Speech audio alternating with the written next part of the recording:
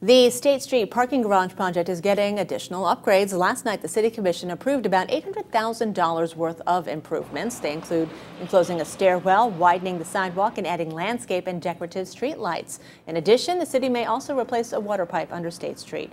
The garage is scheduled to be finished by April 1st. It's now expected to cost about $12 million.